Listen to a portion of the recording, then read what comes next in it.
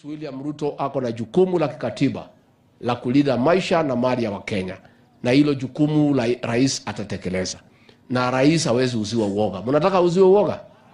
Nyinyi mnaweza kubali mambo ya handshake? Sisi tumewaambia hao hakuna handshake. Wewe kama unataka kusalimia mtu, salimia bibi yako. Si ukisalimia bibi yako ni sawa? Sasa sisi tunasalimiana naye tuongee juu ya nini? Yeye alishindwa uchaguzi, naambiwe hakuna njia ya mkato ya kuingia ndani ya serikali. Kama anataka kuingia ndani ya serikali, angoje 2027 tukutane tena kwa debe, tumnyoroshe tena. Tutamnyorosha au tutamnyorosha? Kwa hivyo nyinyi msikuwe na wasiwasi, na kazi yangu pale ni kumlinda rais. Mimi ndio niko pale naangalia angalia. Hata saa hii nataka nimalize haraka nirudi.